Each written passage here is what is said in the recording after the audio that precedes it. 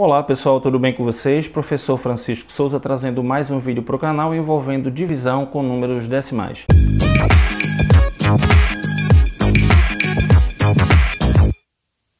Bom pessoal, nós estamos trazendo mais essa divisão envolvendo números decimais que tem sido um tema recorrente de solicitações recorrentes no nosso canal por conta das dúvidas que a galera ainda tem. E aí chegaram até me perguntar o seguinte, professor, o senhor não tem nenhum macetezinho que possa passar para gente, que a gente possa usar em todas as divisões?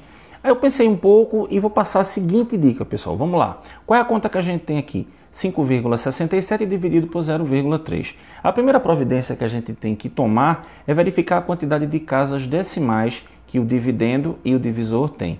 No caso, o nosso dividendo tem duas casas e o divisor tem só uma. Para essa conta se tornar possível, a gente tem que fazer com que os dois tenham a mesma quantidade de casas decimais.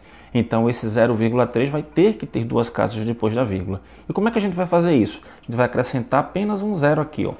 Tranquilo? Então a gente fica agora com 5,67 dividido por 0,30.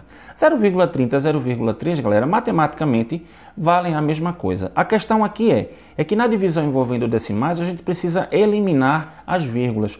E para a gente eliminar, os dois precisam ter a mesma quantidade de casas decimais. Feito isso, a gente desconsidera a vírgula para que a gente possa estar tá fazendo a conta, beleza? Então a gente vai dividir quem agora? 567 por 30. Como o divisor ficou com duas casas, eu tenho que ir lá no dividendo e pegar dois algarismos. Sendo assim, a gente forma o número 56. E daí você pergunta, dentro de 56 cabe 30 quantas vezes? Se forem duas, né? Duas vezes 30 dá 60, extrapola. Então, realmente, dentro de 56 só cabe 30 uma vez. Então, a gente põe o 1 aqui no nosso quociente.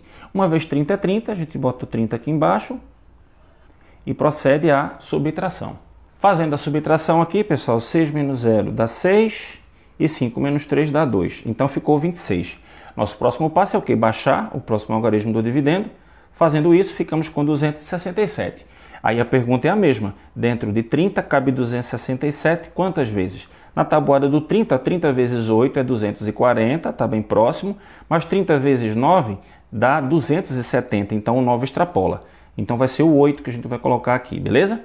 Então 30 vezes 8 é 240, eu boto o 240 aqui embaixo e faço a subtração. 7 menos 0 é igual a 7, 6 menos 4 é igual a 2 e 2 menos 2 é igual a 0. A gente nem precisa pôr nada aqui.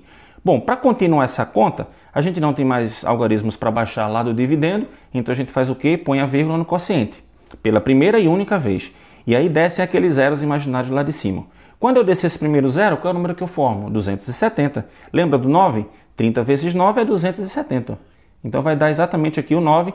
30 vezes 9 é 270, colocando 270 aqui embaixo e subtraindo. 270 menos 270 é igual a zero, então a nossa conta está encerrada. Sendo assim, ó, o 5,67 dividido pelo 0,3, porque aí você pode retomar os números originais. Fazendo essa divisão, a gente encontra aqui o valor de 18,9. Beleza, pessoal? Bom, galera, esperamos que vocês tenham curtido mais esse vídeo. Se você curtiu, deixa teu like aí, é muito importante para o desenvolvimento do nosso canal. Se você não é inscrito, confere aí se não é. Se não for, se inscreve e ativa todas as notificações. E compartilha o vídeo aí com quem está precisando aprender a resolver divisões com números decimais, beleza? Um grande abraço e até o próximo vídeo.